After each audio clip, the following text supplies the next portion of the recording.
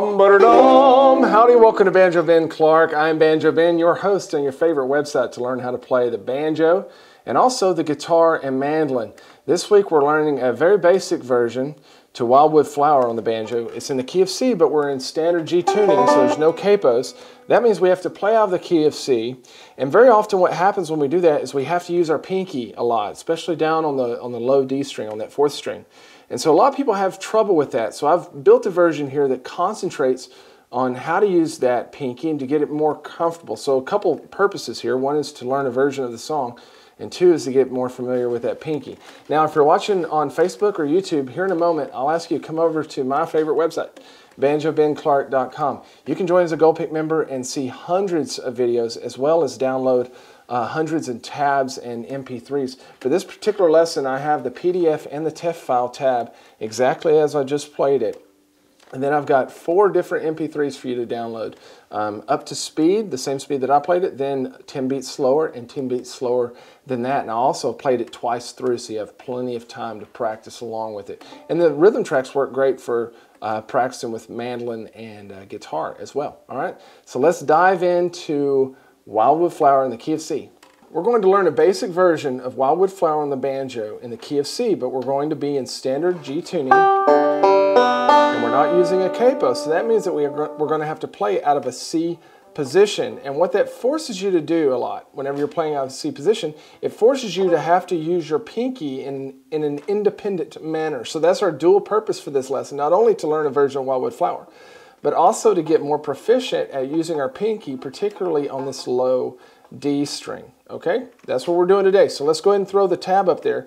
You'll notice, as with all my banjo tabs, I have the right hand fingerings beneath each one of the notes. So the T in a circle would be thumb, one would stand for index, two would stand for middle. And this is a very basic version. We're going to use a lot of what's called square rolls or mixed rolls. And that just simply means that we start with our thumb, we'll play an index finger, play another thumb, and then our middle. And we do that on all different sorts of string combinations. But if you use that pattern, that's called a mixed roll or square roll. And I talk more about that in my rolls lesson here on the website. Now, I want you to get started out of a basic C position. We're going to spend a lot of time there because we are in the key of C. So on our, that means on our first string, we're playing the second fret with our ring finger. On our second string, we're going to play the first fret with our index. The third string will be open, and then we're going to play our second fret of our fourth string with our middle finger. So that's a C chord there. We're going to get there. Now, as you'll notice in the first line of the tab, there's a couple notes that have a red box around them. That just notates the notes that we're going to use our pinky to fret. And primarily, like I said, we're going to do it down on the low fourth string there. So we come in trying to find that wildwood flower melody, which sounds like this basically. Okay, that's how it starts. So we're going to kick in on the third beat of the first measure, playing that second fret on that fourth string. Then we're going to, without uh, raising any fingers, fret the third fret on that low fourth string with our pinky. Now the trick to playing with our pinky like this is that it needs to be curved and we need to play with the tip of it. We're going to be tempted to flatten it out. What happens is you'll touch other strings whenever you try to do that. So you need to try to play with your tip and this, this is going to take a little while if your muscles aren't used to doing it. That's the purpose of this lesson. And we're going to reach and just grab that fourth string with our pinky. Try our best not to let it touch that G string there, okay? Now you can lift it as we go into measure two, and we're going to play one of those mixed rolls. We're going to keep our C position down. It's going to start on the third string, then to the second string, fifth string, first string, and then we're going, we have two quarter notes to end measure two, and we're going to take our middle finger and raise it up from the second fret of that fourth string to the second fret of the third string. That's just to grab that melody note. Okay, so measures one and two together sound like this.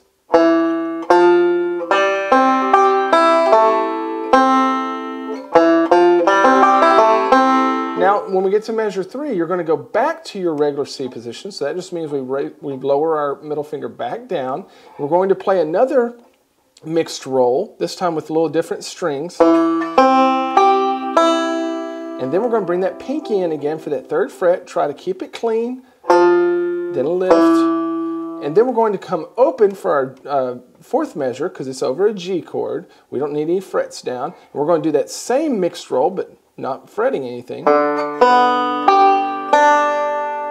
And then use our middle finger to fret the second fret of the G string. And then our second string. So let's just play measures one through four slowly. And then just keep in mind that here on the west side I have a whole other video um, that where I play the whole thing very, very slowly from start to finish, even slower than we'll do it here, as well as all the practice MP3s.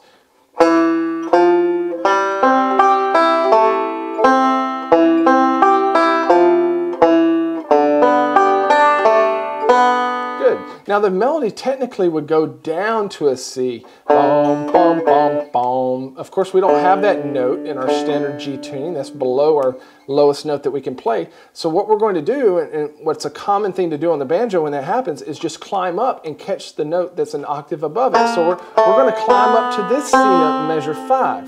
Okay? Now we're going to get back and measure five to that full C position.